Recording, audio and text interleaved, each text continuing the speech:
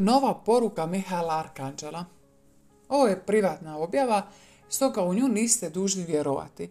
Vidjelica iz Argentine, Luz de Maria de Bonilla, dobila je navodno novu poruku od svetog Mihala Arkanđela i to 13. siječnja 2023. Poruka je objavljena na stranici Brojavanje do kraljstva. Poruci Mihal navodno kaže ovo. Djeco našega kralja i gospodina Isusa Krista. Poslan sam od presvetog trojstva, dijelim s vama božansku riječ. Božanska ljubav prema svakome od vas ne smanjuje se. Ona ostaje budna.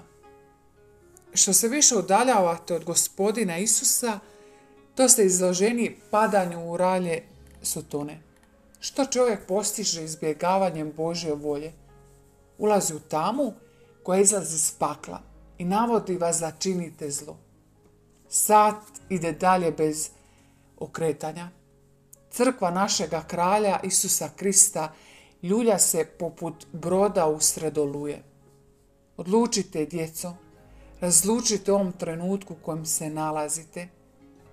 Proročanstva se ispunjavaju, a jedno dovodi do ispunjenja sljedećeg. Hitno je da rastete u vjeri. Hitno je da vaša vjera bude ojačana svetom Euharistijom i ojačana molitvom svete krunice, oružjem posljednjih vremena. Čovječanstvo će biti iznenađeno vješću napadu jedne nacije na drugu. Antikrist je usponu. Njegova želja je da dominira. Kao Božja djeca nastavite biti vjerni tradiciji učiteljstva crkve. Primite tijelo krv kralja gospodina našega Isusa Krista u Euharistiji i molite od srca svetu krunicu. Molite i budite svjesni snage svake molitve. Molite. Čičanstvo će biti iznenađeno i prirodom. Molite. Svako ljudsko biće koji ispunjava volju Božu svjetionik je za svoju braću i sestre. Djeco našega kralja, gospodina Isusa Krista, voda će pročistiti čovječanstvo. Vjetrovi će doći. Potrebno je moliti za onu braću i sestre koji pate. Molitva je hitno potrebna. Potrebno je moliti za one koji pate i koji će patiti. Pogledajte na znakove oko sebe. Molitva svete krunice izbavlja one koji su pobožni.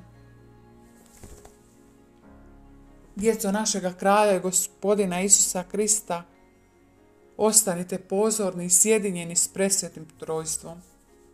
Predajte se u ruke naše kraljice majke. Padajući ničice, klanjajte se trojedinom Bogu za one koji pate. Blagoslivljam te. Budi ohrabren, idi naprijed u vjeri, naprijed u nadi. Mihal zaključuje poruku blagoslovom.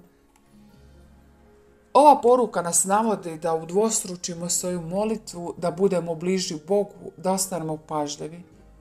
Ovo su važna vremena koja ćemo izdržati samo s ljubavi u srcu prema Kristu blaženom majci. Molimo ne zaboravljajući da molitva nije rutina ili nešto što smo naučili na pamet, nego molimo srcem.